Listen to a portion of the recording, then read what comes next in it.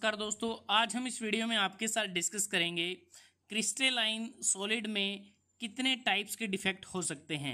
मतलब कि types of defect in crystalline solid क्योंकि अगर क्रिस्टलाइन सॉलिड में ये डिफेक्ट आ जाते हैं तो यह उस पर्टिकुलर सॉलिड की मैकेनिकल प्रॉपर्टीज़ इलेक्ट्रिकल प्रॉपर्टीज़ और केमिकल प्रॉपर्टीज़ को इन्फ्लुएंस कर सकते हैं। तो बात करते हैं कि क्रिस्टलाइन जो सॉलिड है, उसमें कितने टाइप के डिफेक्ट आ सकते हैं।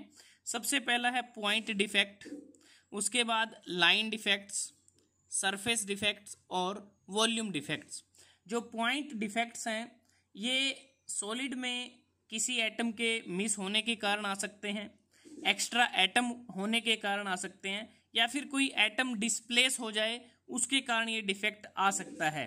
और यह ज़ीरो डायमेंशनल डिफेक्ट होता है और इसकी फर्दर कैटेगराइजेशन इस प्रकार से है कि जो पॉइंट डिफेक्ट है वो भी अलग अलग टाइप का होता है, जैसे vacancies, substitutionals, impurity, interstitial defects, Frenkel defects and Schottky defects. तो ये कुछ पॉइंट डिफेक्ट के टाइप हैं। उसके बाद है लाइन डिफेक्ट। जो लाइन डिफेक्ट है, यह जो एटम का एक्स्ट्रा प्लेन है उसके एजिस के इन्वॉल्व होने के कारण आता है। ये दो प्रकार का होता है एज डिसलोकेशन और स्क्रू डिसलोकेशन उसके बाद है सरफेस डिफेक्ट जो सरफेस डिफेक्ट है, यह जो क्रिस्टल का जो एक्सटर्नल सरफेस होता है, उसकी जो अर्जेसेंट जो क्रिस्टल होते हैं, उनके बीच में अगर इम्परफेक्शन आ जाए, तब यह डिफेक्ट आ सकता है। यह भी तीन टाइप का है ग्रेन बाउंड्रीज टिल्ट बाउंड्रीज और ट्विन बाउंड्रीज। और जो सरफेस डिफेक्ट है, यह टू डायमेंशनल होता है, और जो लाइन डिफेक्ट है, यह वन डायमेंशनल होता है। और उसके बाद है वॉल्यूम डिफेक्ट, जो थ्री डायमेंशनल डिफेक्ट होता है।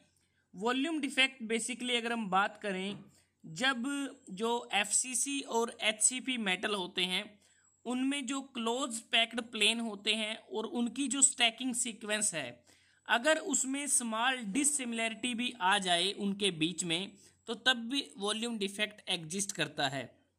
जो वॉल्यूम डिफेक्ट है, उसमें वॉइड है क्रैक और स्टैकिंग फोल्ट है इंक्लूजन है प्रेसिपिटेट है तो ये बहुत सारे जो डिफेक्ट हमने डिस्कस किए, ये अलग अलग टाइप के डिफेक्ट हैं जो क्रिस्टेलाइन सॉलिड में आ सकते हैं और इनका अलग अलग कारण होता है आने का।